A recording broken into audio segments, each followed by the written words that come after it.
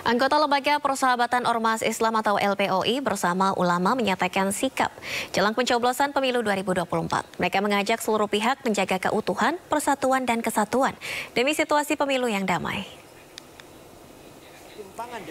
Dalam petisinya, Ketua Umum LPOI Said Akil Siroj mengajak seluruh umat menjaga keutuhan, persatuan, dan kesatuan demi pemilu damai dan menjaga tata kelola negara secara konstitusional.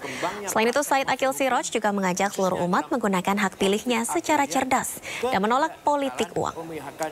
Intervensi oknum harus hadir untuk menegakkan demokrasi dan keadilan sosial.